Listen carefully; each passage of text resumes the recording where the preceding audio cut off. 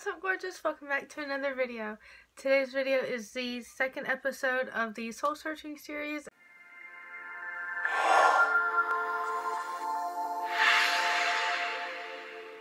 And today we are talking about Anneliese Mitchell. She is the inspiration for the movie The Exorcism of Emily Rose. And let's get into it.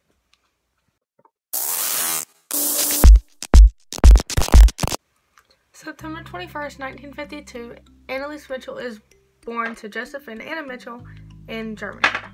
They grew up in a very strict household with three of her aunts being nuns and her father even training for priesthood at one point. Four years before she was born, Anneliese's mother gave birth to an illegitimate daughter, Martha, to which Anneliese his mother told her she needed to atone for her mother's sins through fervent devotion. This worsened when Martha died at age 8 due to complications of surgery to remove a kidney tumor. This led to Anneliese living a long life trying to atone for the sins of others.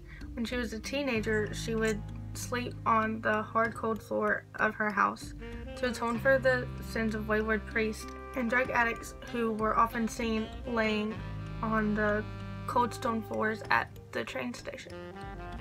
When she was 16, she blacked out at school and then walked around in a trance-like state, although she doesn't remember this occurrence by herself. She only knows it based off of what witnesses and her family told her. A year later, she had a similar occurrence where she woke up in a trance-like state, wet the bed, and had a series of convulsions. After this event, Anneliese goes to a neurologist who diagnoses her with epilepsy, which can cause seizures, memory loss, and visual and auditory hallucinations.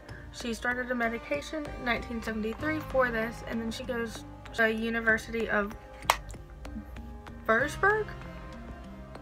It spells like this, but German, the W makes a V. I don't, this. In her dorm, she hung posters of saints. She kept holy water by the entrance of the dorm. And she was, she spent a good bit of her time at university praying. She eventually started seeing devilish faces during her prayers. And although she stayed on her anticonvulsant medication, she said it wasn't helping her any and she started to believe that she was possessed because she was only seeing these faces when she was praying. Eventually she started hearing whispers of these things telling her that she was damned and she was going to hell because she hadn't atoned for someone's sins. The first instance in which someone mentioned to Anneliese that she might be possessed is when she was on pilgrimage and the lady had noticed that Anneliese refused to walk by this one particular image of Jesus and that she refused to go to the Holy Spring. Eventually, her condition started to get worse and she was also seeing these devilish faces everywhere she went now, not just when she was praying. They were haunting her and telling her that she was going to hell. And for someone who grew up strictly Catholic and did everything they could for the sins of others, she, this only made everything worse. The court had determined that by 1973, Anneliese was suffering from depression and probably considering suicide. She started to seek out priests who turned her down, telling her that one, they would need um, permission from a bishop to do an exorcism, but also that she needed medical attention. They were trying to tell her this. Her mother also started seeking out priests to perform an exorcism when everyone started to believe that Anneliese was truly possessed. After being turned away, Anneliese's condition severely worsened and her delusions became extreme. She started convulsively doing 400 squats a day for a teenager. Um, she commonly took off her clothes just randomly. She started eating coal and spiders, and she even bit off the head of a dead bird once. It was not unusual for her to urinate in the floor and then lick it up. There was one occasion where she crawled under the table and barked like a dog for two days straight.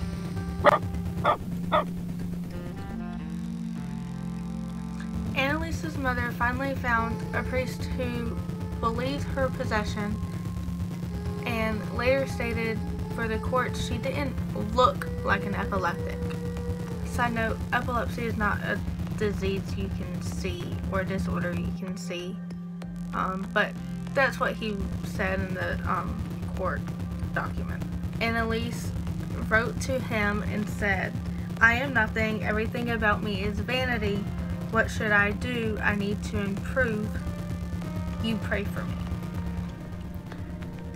And that just goes to show that she was truly beginning to believe that she was possessed and that she that everything was happening to her because she was chosen to atone for the sins of other people. She also had said to him, I want to suffer for other people, but this is so cruel. Alt petitioned the bishop who appointed a local priest, Arnold Renz, to perform the exorcism if it were to be done in total private. Exorcisms were first popular in the 1500s as a Christian ritual, and the instructions of how to do one were in a book called Ritual Roman. I'm trying to remember the spelling of it. It's the Roman ritual, but flipped around because language until like this whole time period in the 60s like exorcisms weren't happening they were very rare until movies like The Exorcist brought their um, popularity back. It became kind of like just a part of pop culture to look into doing an exorcism and to have one done. Over the next 10 months, Anneliese underwent a total of 67 exorcisms that each lasted about 4 hours. During these possessions, Anneliese revealed that she was possessed by demons like Adolf Hitler, Cain, Lucifer, Nero, and a disgraced Frankish priest. It seemed as though these demons had a power struggle within her during these exorcisms and some of their voices were caught on tape which can be heard online. I'm not going to play any of the audio because I don't know what kind of um, copyrights are on on demon voices of exorcisms and I don't want to risk it. During these sessions, Anneliese broke several bones, including her knees, and the tendons and ligaments in her knees were severely stretched and tore due to her constantly falling onto her knees in prayer. This motion is called genuflexion. Flexion. I'll put it here. And when she was too weak to do it herself, this was towards the end of the exorcisms, her mother would and her father sometimes would support her and do the motions for her. That's how serious they were taking this when she couldn't even move herself, they were doing it for her. Anneliese would often be physically restrained so that she wouldn't disrupt the motion of the exorcisms Anneliese eventually quit eating and drinking on her own, believing that she had to fast to rid herself of the influence of the devil. She refused food when it was offered to her from her sisters, and no one else tried to intervene. So, when she was very, very weak and on the verge of death, she told her executioners, begged for absolution, and she told her mother, just simply, Mother, I am afraid. And these were the last words of Anneliese Mitchell when she died during her exorcism. Her parents and the two priests were all arrested for negligent murder, and the two priests were charged with murder by negligence, and her parents got away for dealing with so much already being the death of their daughter, which is how a Germanic law works.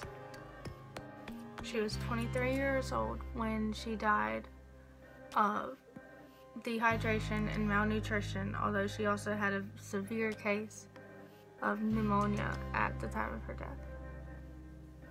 She was buried on the outer portion of the cemetery next to her sister Martha, and the area of this graveyard is typically for illegitimate children like her sister and for suicides.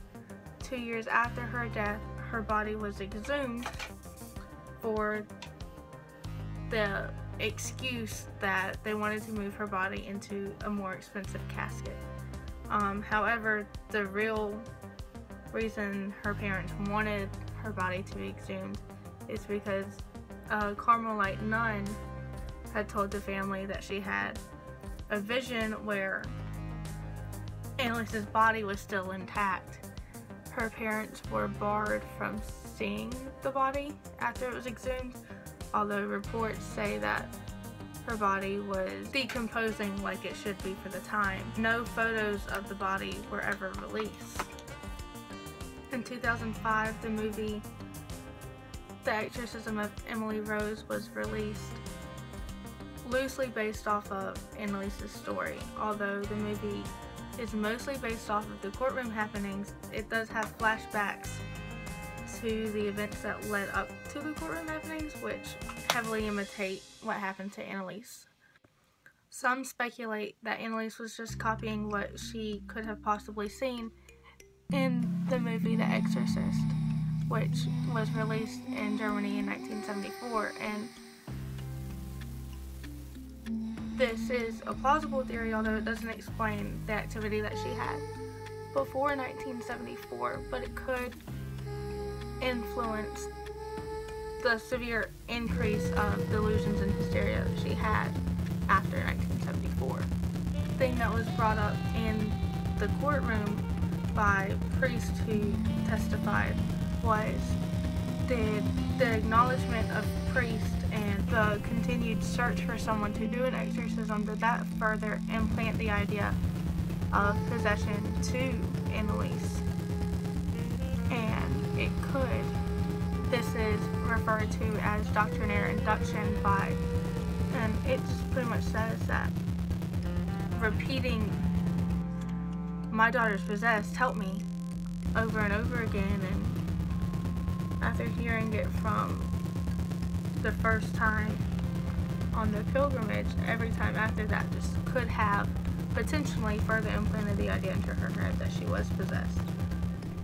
Whether or not she was, because now we can look back and we see that her early symptoms um, imitate the symptoms of schizophrenia and if she had been treated for such at the time, maybe it wouldn't have escalated to where it was.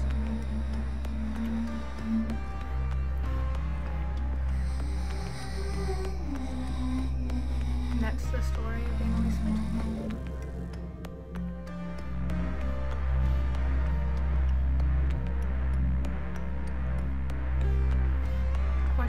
Actually possessed? Was she sick and in need of treatment?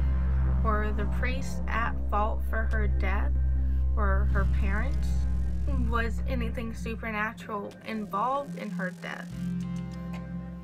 these are questions that people want answered and that play around with the idea in movies.